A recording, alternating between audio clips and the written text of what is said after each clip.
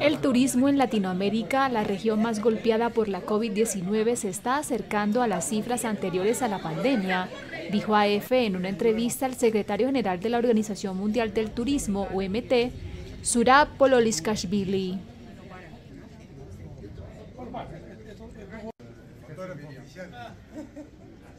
Estamos muy contentos ver números que están volviendo a 2018, 19, cuando eran mejores años del turismo.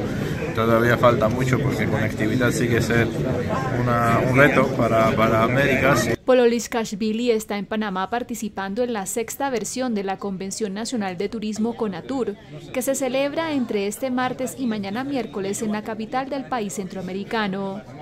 El Caribe y América Central son dos regiones que demostraron una de las recuperaciones más rápidas hacia los niveles de 2019, pues en julio las llegadas se acercaron a las cifras prepandemia en el Caribe con un menos 5% y en América Central con un menos 8%. Hemos visto que es más fácil viajar y los, números turistas internacionales crecen, siguen subiendo y, y, Caribe pues es un destino donde se recupera el turismo bastante rápido. Uno de los buenos casos en la región es República Dominicana, el cual la OMT ha reconocido como destino que recuperó más rápido el turismo.